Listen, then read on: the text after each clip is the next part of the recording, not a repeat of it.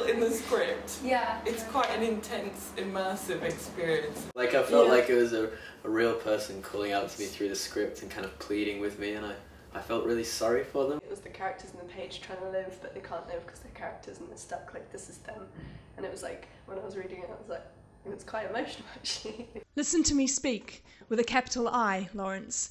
Pay close attention now and listen to her dutifully reading the script. She has vanished into nothing.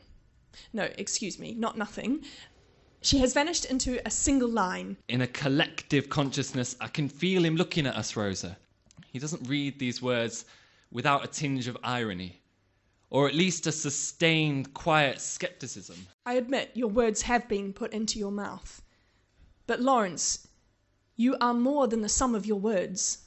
As a reader, you go into it with your preconceptions about what a body is and for whom this body acts as a vessel. They're talking about kind of pushing boundaries outside of the script, but the script's already been predetermined, so they can't push outside of the boundaries, but they really want to. Our own kind of individual decisions as actors would have an impact on their lives. It's about how they have their own consciousness and then they're using people, but they feel limited by that. The script is blind to itself, it doesn't know what its outcome is going to be. You continue to think about what the characters are doing, like they're still continuing with the story. Once they've been resurrected, are they more than the script?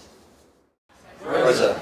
Yes, yes, Lawrence. Rosa. Rosa, I have eyes. I can see you I can See you. I too have eyes. too. I'm here.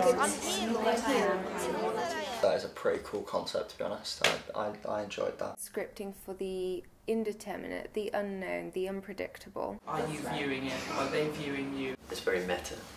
Yeah. yeah.